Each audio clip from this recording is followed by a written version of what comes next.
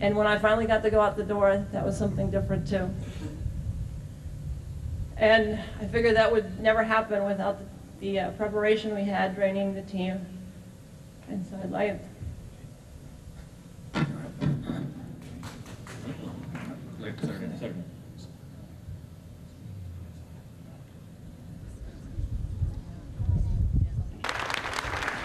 that's not a little embarrassing.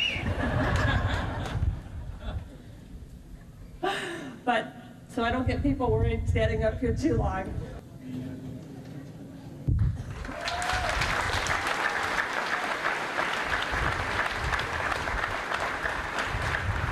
And so I figure I could stand here, standing enough.